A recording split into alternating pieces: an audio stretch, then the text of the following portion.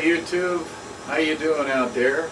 And uh, I had uh, a couple little collectibles here I thought I'd uh, run on tape here and, and show some uh, the viewers out there. And um, I've always been interested in uh, uh, collectibles, as you can tell back here, got little things up. And um, these are just a couple of personal favorites that I had that might be a, bring a little chuckle to you. Um, first one here is a uh, mood music for dining. Now this was a, uh, uh, I think it's like a 10 album set that was put out in the 70s by Reader's Digest. And uh, you know, it's basically, I guess, for bachelors, you know, to have a hot date over and impress her with, uh, I don't know, some mood music here, you know, while you're eating. But uh, no big deal with that. But the funny thing that came with this record was you had a little slide rule chart that showed you what the appropriate song was to play with the particular course of the meal. So they had everything here from soup to nuts to uh, after dinner mints, and you just kind of moved it this way and that way, and it'll tell you what songs to play. So I thought that was pretty corny and pretty funny. Um, the next thing here is, is uh, just a personal favorite. Uh, I call it the Good Luck $5 bill, and you're probably wondering, you know, what what is a five dollar bill, you know, doing being framed like this?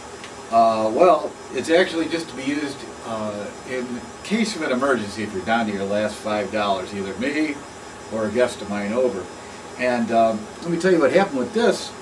Uh, I got this original five dollars back in change at the uh, grocery store and uh, spent it the same day uh, and uh, got it back a month later at the post office. And the reason I know this is because on the back it said uh, Carol G called Jerry for golf. So I said, hey, you know, I, uh, I remembered that in the back of my mind. I said, oh, that's interesting. Somebody wrote a note on the on the back of this uh, five dollar bill. Well, anyway, I got it back from the post office a month later. And the next place I stopped was the uh, another grocery store, and uh, I pulled it out to give it to the cashier to, to use for payment. And I said, uh, you know, I should hold on to this bill. I said, you know, I, I, had it a month ago.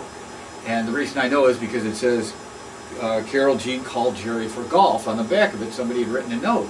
And the cashier had a very surprised look on her face. And she uh, looked at me and she said, you know, that's really interesting. I had that same bill two weeks ago.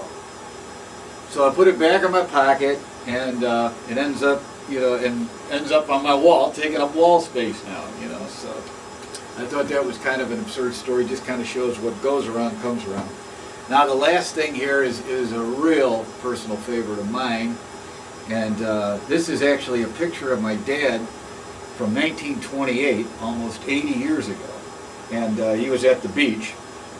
Now the absurd thing about this photo, aside from the fact that you know it's vintage, my dad, of course, you know, and and uh, I uh, really uh, uh, treasure that, of course. But the absurd part of this is uh, here's the original the original bathing suit that he was wearing in that photo. So anyway, those are three little uh, collectibles. I hope I didn't bore anybody too much, and uh, I want to thank you so much for taking your time to watch the video, and also thanks to uh, YouTube for allowing me to share these stories with you. Thank you very much and hope to see you again soon. Bye-bye.